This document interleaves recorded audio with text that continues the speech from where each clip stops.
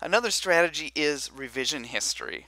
This little known feature is a great way to get yourself out of a jam from time to time. I know it's solved me problems before.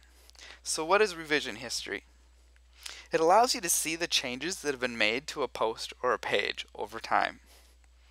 You can go back to a previous version of a page and restore it. So if you make a mistake or something goes wrong, you're able to go back and um, get back to a good state. Just keep in mind that it's limited to the page title and the page content. So widget areas, other settings, other content areas, unfortunately none of those are covered in revision history. But the page content's the majority of uh, where your content is, so this is a great tool.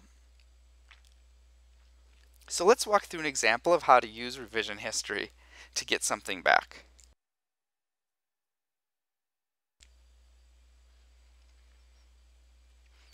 So up in the top right, click on the Screen Options link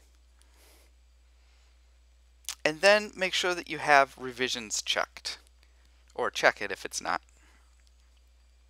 Then you can click Screen Options again to hide that menu. And down towards the bottom of the page now, you're going to see a revisions section. This is going to show you all of the changes that have been made by who and when to this page or post. This really comes in handy. So let's say, for example, we delete this first paragraph of text in our post. It's gone. And we save. And we go, oh man, I really didn't want to delete that. You go, so no problem. You can go over to the right hand side and click on the link that says revisions. And it's going to show you what has changed. So on the right side of the screen, you're going to see the um, page or post as it is right now. This all works the same for both pages and posts.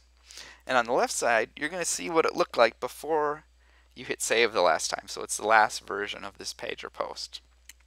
So you see on the left, our first paragraph is there, and it's highlighted in red to make it stand out so you know that's what had been deleted.